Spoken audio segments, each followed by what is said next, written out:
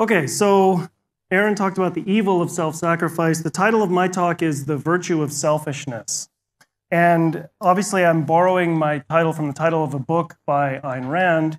Um, uh, she has a collection of essays on ethics or morality called The Virtue of Selfishness.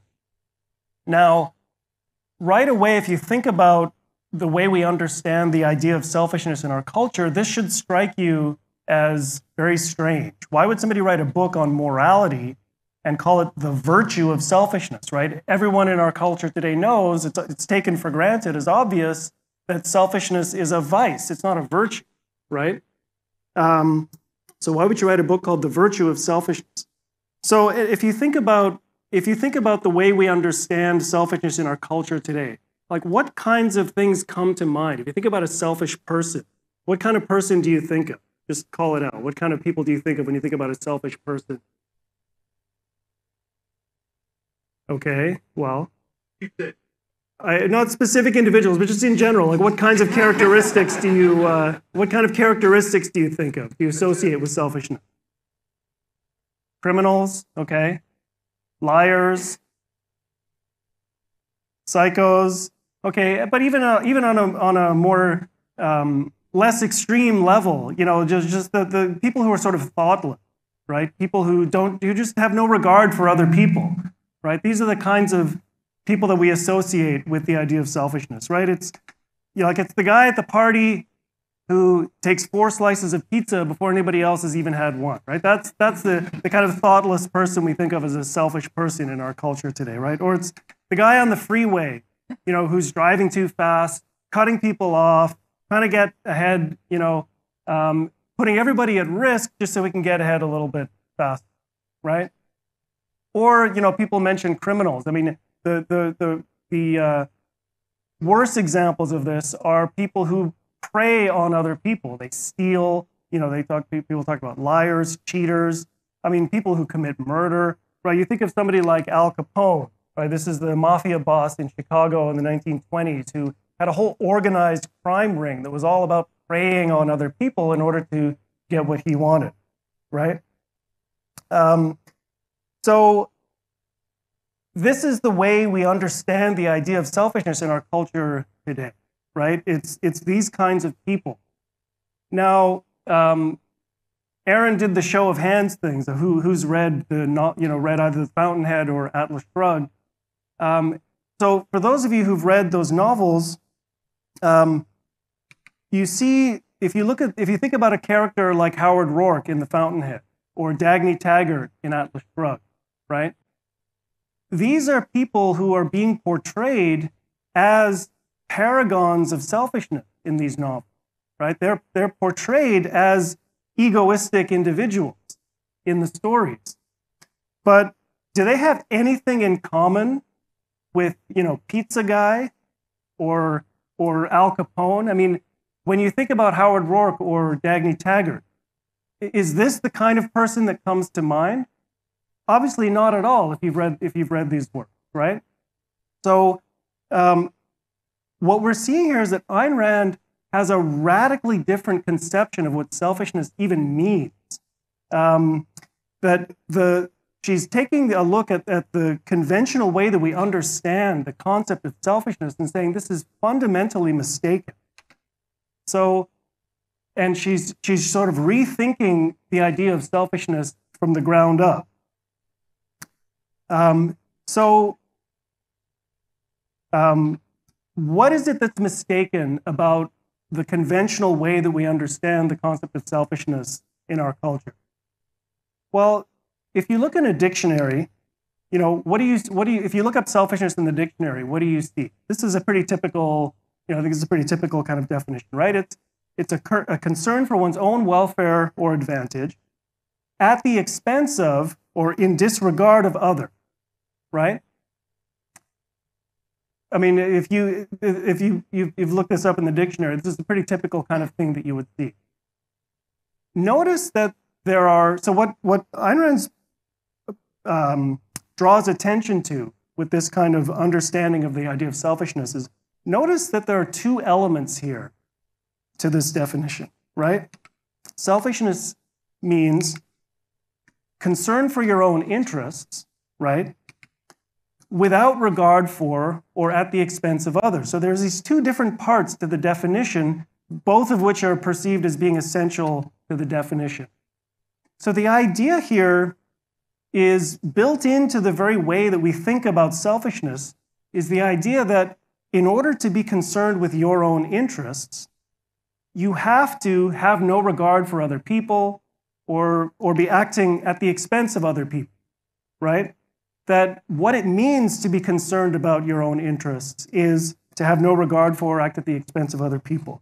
So it's sort of like this is what it means to be self interested is to, ha- so the, these two parts automatically go together. They necessarily go together. That to be self interested, to be concerned with your own interests, means to prey on other people, to have no regard for other people, to be thoughtless, to be cruel, all these characteristics, right? And the idea is um, that what this implies is that in order for you to get ahead, you know, you have to suffer, right? That in order for you to win, you have to lose. It, it, it's the idea that um, selfishness necessarily means that there's no such thing as a win win relationship between people, that there's only win lose relationships, right? For you to be concerned with your self interest means that you've got to prey on or you know, act at the expense of other people, right? But if you think about it, I mean, I think in, in our experiences in our lives, we know that this is simply not true. It's just, it's simply not true that there's no such thing as a win win relationship. We experience those all the time.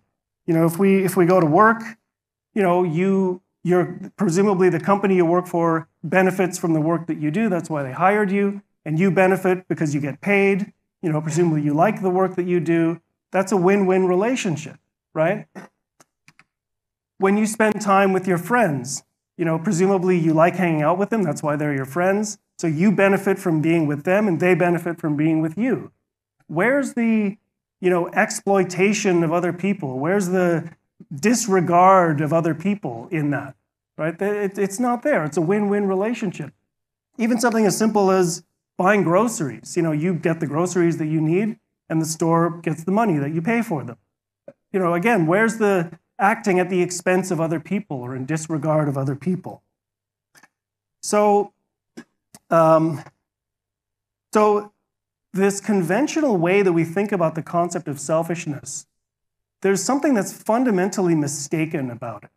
Okay, um, it's simply not true that to be concerned with your own interests necessarily means that you have to act without regard for other people or at the expense of other people. It's just, it's, it's completely mistaken to think of it that way.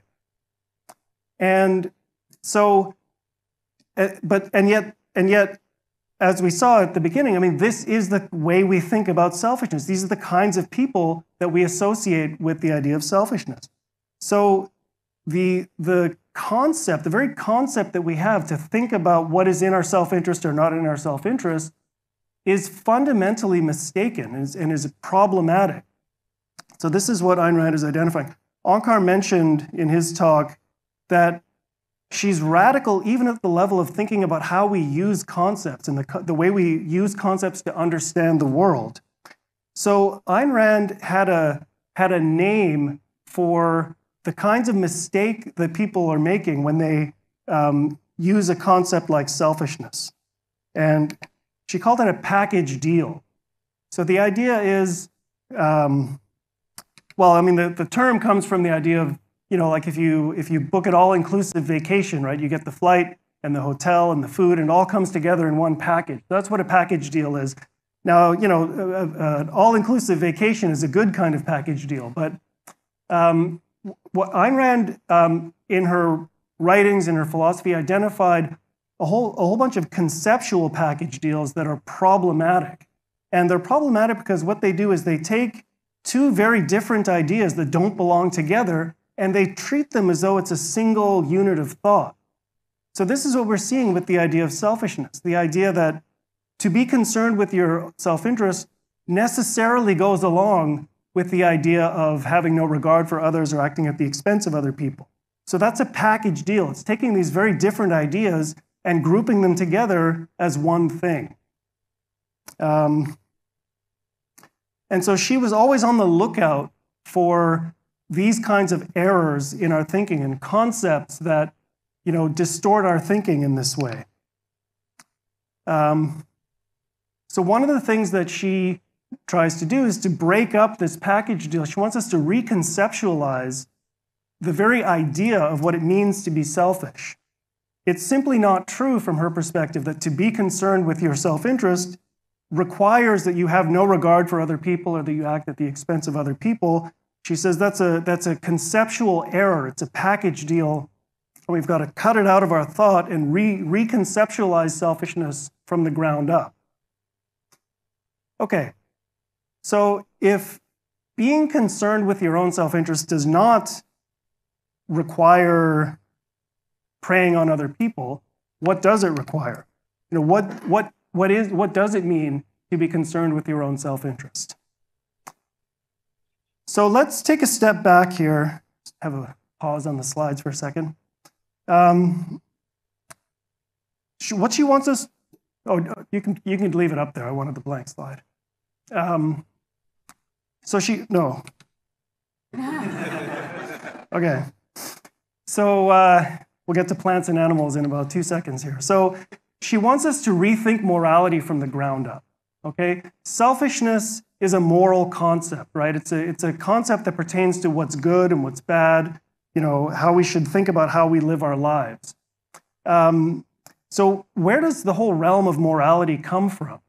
Right? If, if we want to rethink morality from the ground up, we've got to ask what gives rise to the need for morality in the first place? So, the way Ayn Rand um, begins this thought process, she says, you know, what is the basic fact of reality that gives rise to morality? And it's the fact that living organisms face the alternative of life and death.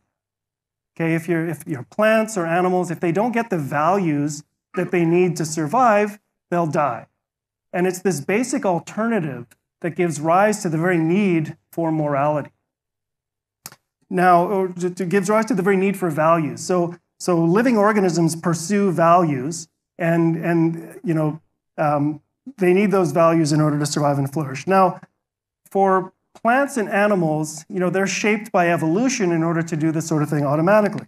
There's, so there's my plant. So, you know, a plant is going to grow its roots down into the soil to get water and nutrients. It's going to put up its leaves to get carbon dioxide from the atmosphere so it can do photosynthesis and, and that sort of thing, right?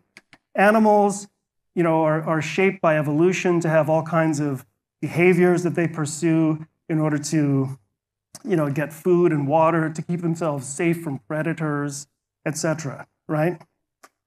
Now, um, human beings, though, we don't automatically get all the values that we need to survive, right? Um, we, we're what uh, as a result of our evolution, what do we have that plants and animals don't have that that um, makes a difference in terms of how we go about pursuing our values. what do we, what do we have? What, is, what did evolution give us that it didn't give the lower animals or plants? Thumbs. Yaron says thumbs. Free will. Yeah. I mean, basically, it, it gave us this big brain, right? The, the basic way that human beings have to pursue the, the, the, basic means that we have to pursue the values that we need to survive is by thinking, by using our minds, right? Um, we don't automatically know how to find fresh water, right? How to, uh, how to hunt down animals, you know, in order to be able to eat them, how to build shelters, right? We have to figure all these things out. We don't have built in behaviors that allow us to do these things automatically. And if that's true at the level of sort of a primitive hunter gatherer kind of existence, you know, just think about how much more true that is in, in our complex industrial division of labor society, right? Again, coming back to the novels, if you think about Dagny Taggart, um, so she's, she's the operating vice president of a transcontinental railroad. Just think about all of the questions that she has to answer on a daily basis to keep this whole system running, the problems that she has to solve, right? She's got, you know, thousands of employees operating hundreds of trains, serving thousands of customers, shipping freight all across the country in order to provide this value of transportation, right? Um, you know, so just think about all of the hard thinking that she has to do in order to make this happen, all of the decisions that she has to make. Um, now, again, this doesn't happen automatically. And the other thing is that um, there's it, it, it's really hard work. It takes a lot of effort. And we face all kinds of resistance and temptations not to want to put in that effort. Also in Atlas Shrugged, we, you know, Dagny is contrasted with another character who you might be familiar with if you've read the book, her brother James Taggart, who's the president of the railroad. And he's the perfect example of somebody who absolutely does everything he can to avoid doing the hard thinking and the hard work required to uh, you know, achieve this value of transportation. He, he doesn't want to face reality. He doesn't want to face the facts. The very first words out of his mouth in the book are, don't bother me, don't bother me, don't bother me, right? Um, so what we see here is that uh, the hard work that Dagny does in order to solve all these problems, answer these questions, the hard thinking that she has to do, it's not automatic and it's actually a real achievement. She has to choose to commit, you know, her energy and her effort to doing that work. It's, it, does, it doesn't just happen. Um, and there's all kinds of examples in the world of people who don't want to do that and who choose not to do that. So it's really important to understand the fact that it's a choice. Um, or think about, we also talked about Howard Roark in The Fountainhead, right? Think about the kind of thinking that he has to do in order to you know, design a beautiful structure that serves the function that it's, that it's uh, intended for. So he's got to think about all the things that he has to integrate, the site, the materials, you know, the, the, the um, purpose and the function of the building, the specifications. He's got to take all of this and now, for Howard Roark, what he wants to do is, is design a building you know, to, to that, that is an expression of his creative genius that, that is, you know, doesn't just follow the traditions of the past. So he's got to do all this work to conceive of the design, you know, and then there's all the work that goes into coordinating all the labor to construct the building in order to get the finished product, right? Now, um, he's contrasted in, in the Fountainhead with people who um, don't want to exercise the independence to come up with their own create their own creativity and their own designs.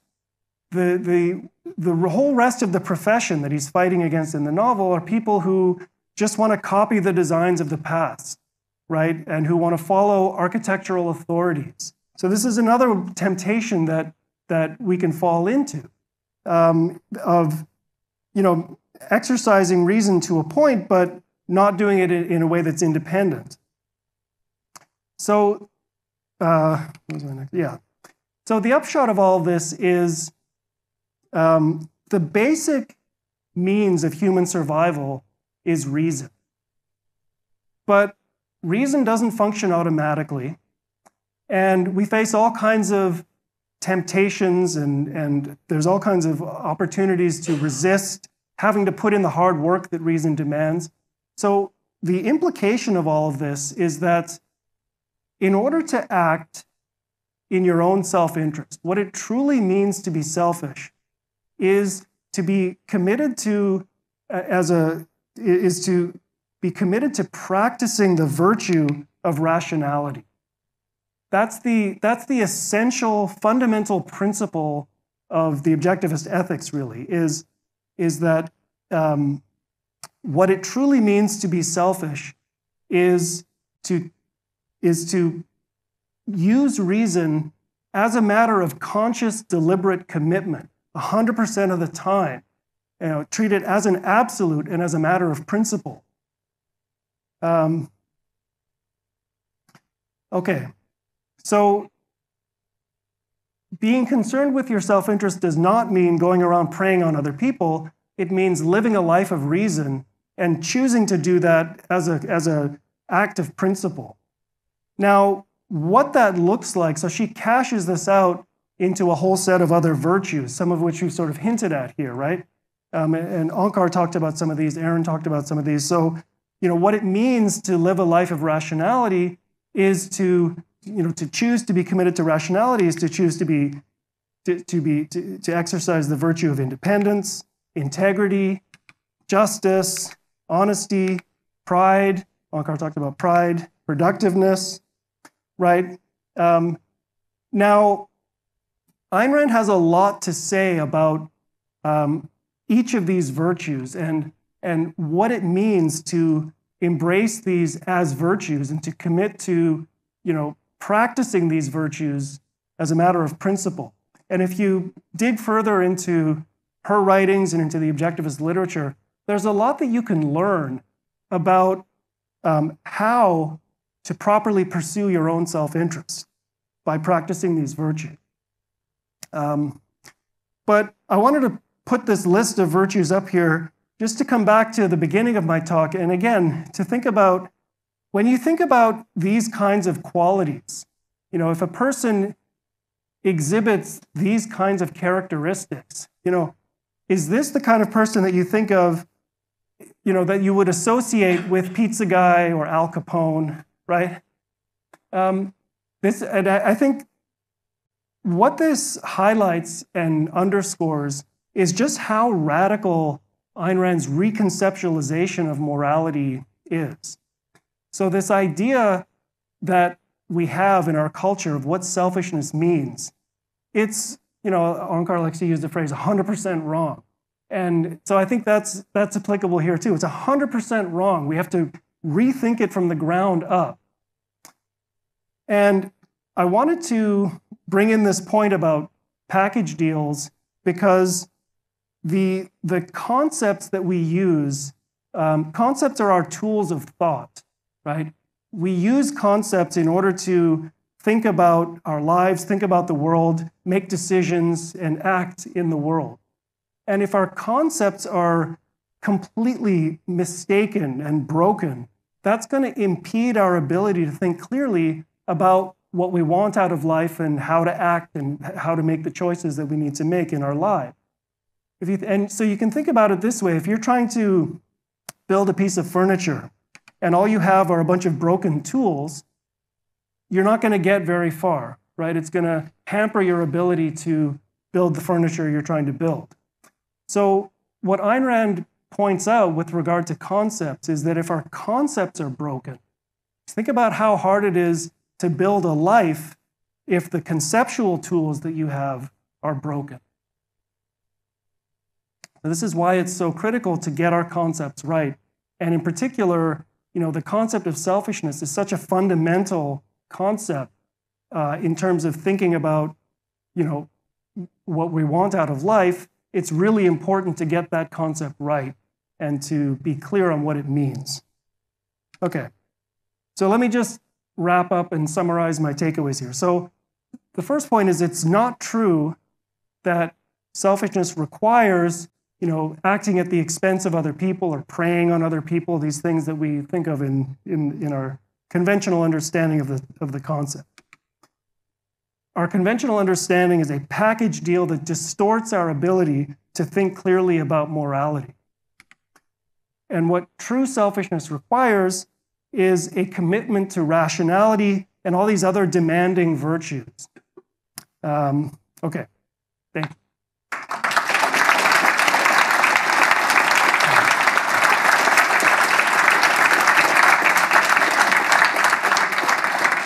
Okay, so I think we have microphones over here, and we have uh, 27 minutes? No, 17 minutes. Yeah, go ahead. Hello. Um, I, so I have a question about uh, the virtue of productivity. So obviously okay. in objectivism there is um, a unique emphasis on productivity, perhaps compared to other philosophies in history, as I understand it. Uh, and I'm wondering, is there a um, in the sort of periods in history with extreme, very productive periods, so the Renaissance, the Enlightenment, the um, Persian period in the Dark Ages, etc. Was there is there any sort of emphasis on productivity that sits upstream of that in philosophy, or how else could we think about the the reasons why those were such productive periods um, without that kind of grounding? Yeah, um, it's not the virtue of productivity. So that's one of the things I want to. But I, I, the only reason I say that, not to be quibbly, but when I think when people think productivity, they think like how many widgets did I make this year? Did I up? That's related to productiveness, but it's not the same thing. Um, but productiveness is a, is a moral virtue in the sense that what you're doing is you're producing the material values that your life requires, more and more and more of them to make your life better and better and better. And objectivism thinks of that as a moral virtue because she thinks of morality in terms of life and what life requires and flourishing requires. And that's center stage uh, for her in terms of morality um, people did think well of things like hard work. Maybe to put it in even a little better terms that uh, John Locke would put it in industriousness. And that there's something about there's something valuable about that. Um, but sometimes the motivation for that is good, sometimes it's not so good. It's hard work because man must suffer, right? And and God expects us to to- uh, toil and you know, you know, till the earth or whatever, and it, it shows your commitment to the suffering of life. But industriousness is more like what you're putting into it. There's an output and there's a product and there's something valuable about it. Um, but even then, I, I, don't know that he, I don't think that Locke would put that as a. Uh, I think he ha- has a morally tinged positive perspective on that, but I don't think he would list that as a virtue. But I, I could be wrong about that.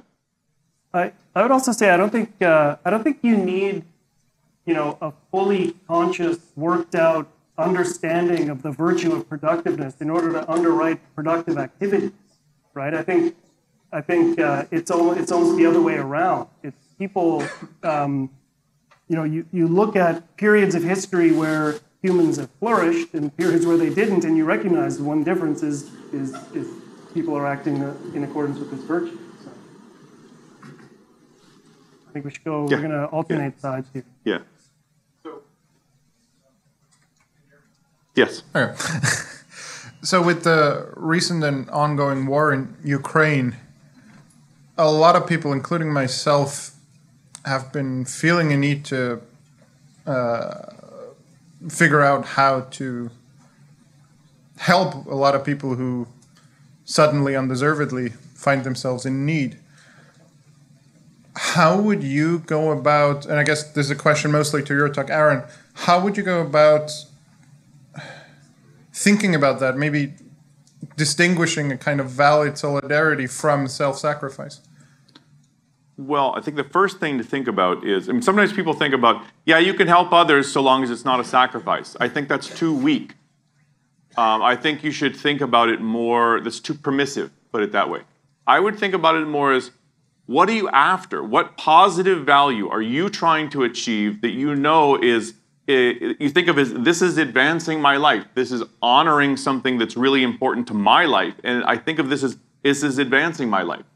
Um, I would think about what is that? Is there something like that? And if there is, that doesn't tell you. Uh, uh, you might, you might, if you're able to, do something in that regard. But then again, is what to do? Um, is it? Uh, it, it may be enough in terms of your own sort of abilities or resources or whatever you have to show some kind of solidarity and to speak out or to say something about what is unjust about this. And, and just so there's another voice out there um, who's calling out this as, as the injustice that it is. Uh, and is that a, do you send money to aid? I mean that, those are con- those are concrete. Those are specific things. And it's like how much money do you have? What other things could you be doing? Is that is that the right response to this? I mean there's suffering everywhere. There's injustices everywhere. So you have to think about like what should my response be to that? And I think there is a there is a, there is a morality uh, behind thinking about this is an injustice and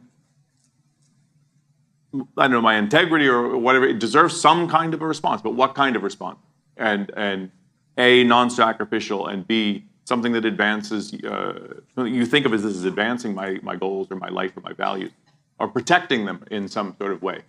Um, but in some ways that could just be you know demonstrating a real solidarity or speaking out or uh, something like that. It, it, doesn't always mean you, you send money or something, or you put on a flak jacket and go down there.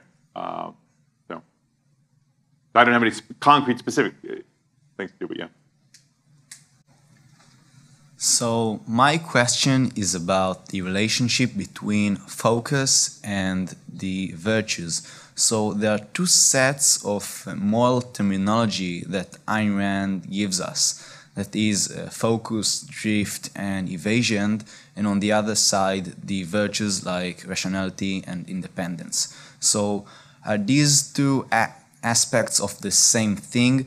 Is a moral person a person who is focused, or does it is it determined by uh, is a moral person person who is independent and honest? How do you determine who is moral? And then if you are, you can be focused and dependent, deceitful, uh, or irrational. Like what is the? It's about the relationship between uh, these two sets of moral terminologies that I want to get more clear about. Well, I mean, um, well, let me start by saying that tomorrow morning, Onkar is going to give a talk about free will, where he's going to go into exactly uh, what Ayn Rand's theory of free will is. So stay tuned for that. But um, I mean, I, there, I don't think there are different sets of moral concepts. Um, reason operates by certain means and it has certain characteristics. And one of the characteristics of our rational faculty is the fact that it's volitional and that it, it's something you have to choose to exercise.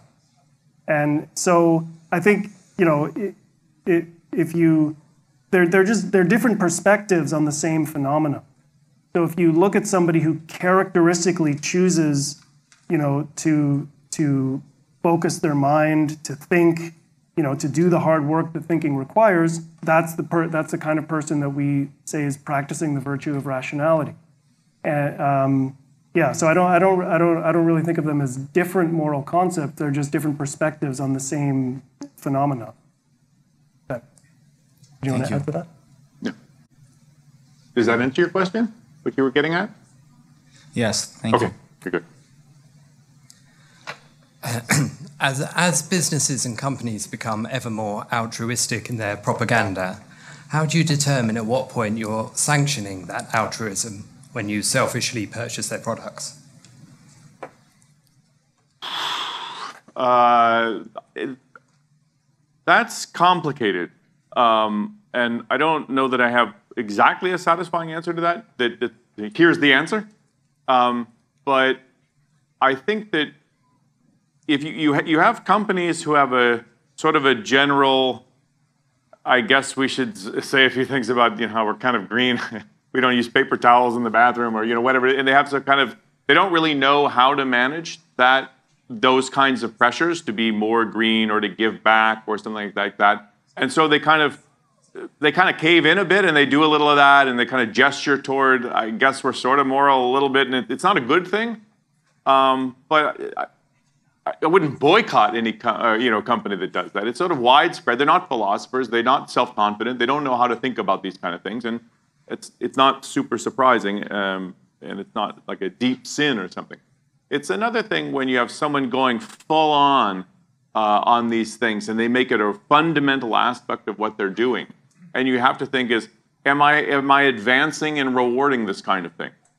Um, and uh, I mean yeah, it, are, is, is, the, is, is how they're presenting their company, their hiring practices, their marketing, how they project themselves, the values that are built into that. If like these are all bad, they're really bad, and they go full on into it. It's not like they just start to stumble in it because they don't know how to think about how to deal with this sort of stuff.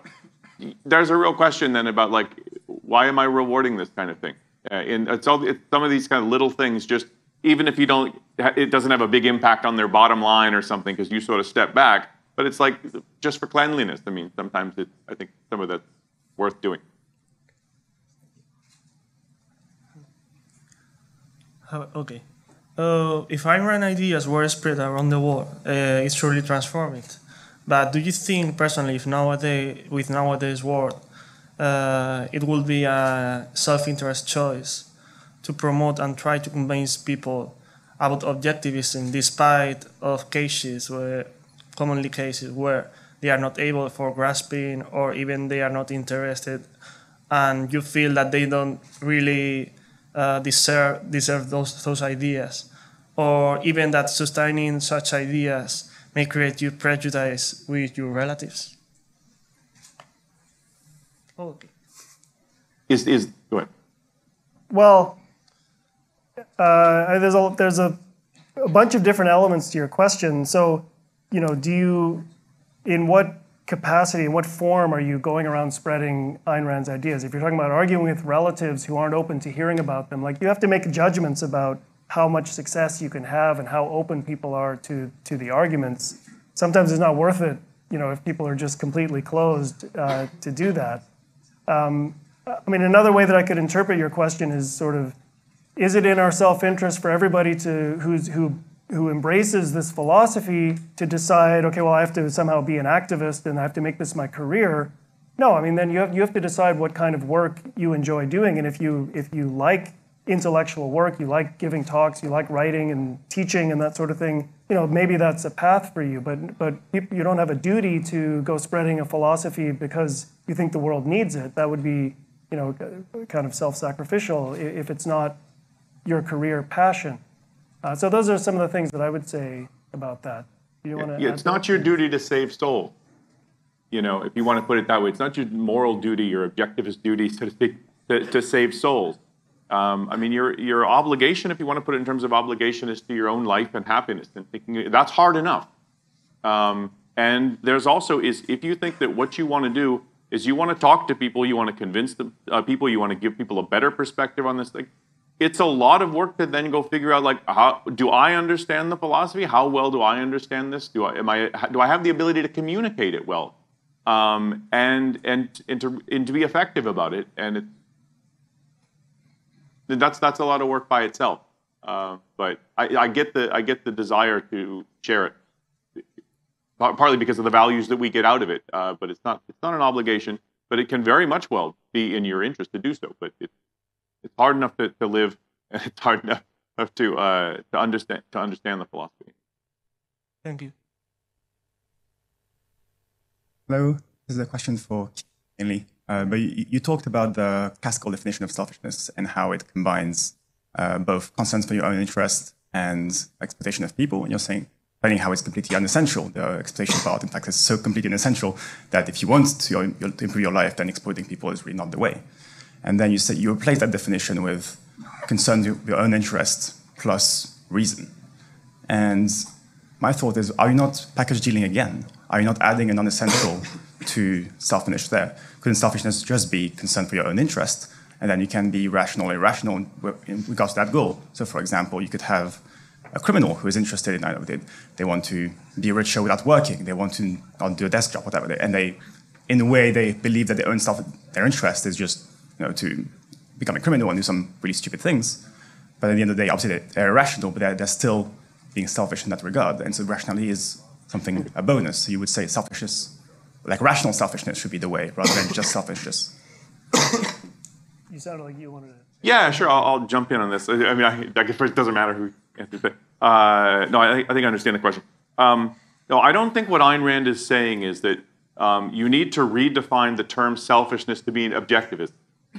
I think that that's packaging too much of a particular philosophic theory into the general definition. Her view is selfishness just means, in, when she means a dictionary definition, I don't think it means that she had this 1952, page 17. It was more of like, it's, that's a non evaluative conception of what it is. And you're not building in you know, it's selfishness and you're a bastard.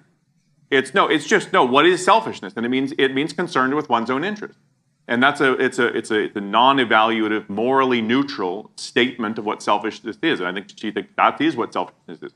So you do have Pizza Guy, and you do have Al Capone, and you have different conceptions of what people think of as in their interests. And uh, you know, if they say, "Here's my interest," like uh, Thrasymachus from Plato's Republic, if you ever read that, it's like well, it's might makes right. It's, it's I get I get you before you get me, and that's what's in my interest because people are horrible and whatever. And so people can have different conceptions of what they think of as concern with one's own interest. This is why Ayn Rand qualifies what she uh, qualify is not quite the word, but it's rational self-interest. And the, the book, The Virtue of Selfishness, the subtitle is, which we all forget, is A New Conception of Egoism. So she's presenting a new conception of what it means to be in your self-interest, and that's what she calls rational selfishness or rational self-interest. Um, and so, yeah, I don't think we would, I don't think it would exactly be package dealing to build in like reason exactly, but it's more, I think if, if, the, if what you're getting at is, are we just building in something that maybe shouldn't be in the definition? I don't think that's what Ayn Rand would advocate doing it. Yeah, and we have one minute and two more questions. So can you both ask your question and then you decide how you Sure. approach But the you want, but you want to, Thank you. yeah. Uh, yeah, sure. So this one's kind of leading on from that question a bit, but uh, we heard earlier today in the first talk about how a lot of people are trying to rebrand uh, definitions of stuff in today's society, like racism, and trying to make it mean a new thing. So how would we avoid like hypo- hypocrisy in a way when we're trying to redef- redefine uh, the concept of uh, selfishness? okay, so I think Nikos wanted us to hear the questions and then Yeah, answer them. So David. let's hear this one as well. Okay, uh, shouldn't we sometimes sacrifice for other people? Because if we do, they will be there for us when we need it. Okay, I'll do this one and you do that one. Yeah, so, sure. At the same time, right? yeah. so the so the the Ayn Rand's point about concepts is that they're tools for grasping reality. And so the question in evaluating any concept is does it represent an accurate um, understanding of the way things actually are in reality?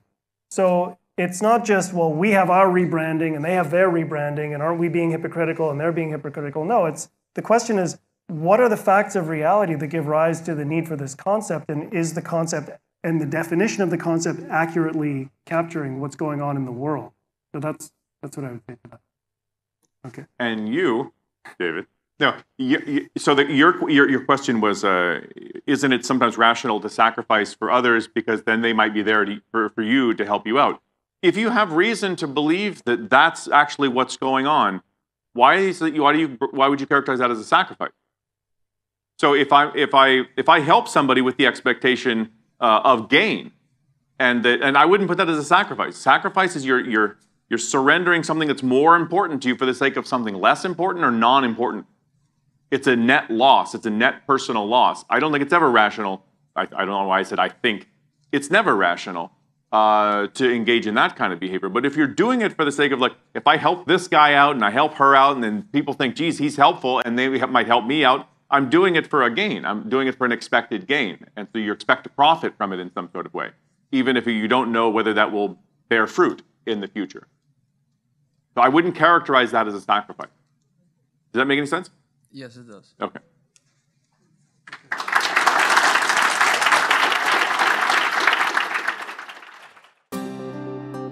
Thanks for watching. Be sure to subscribe and ring the bell to never miss a video.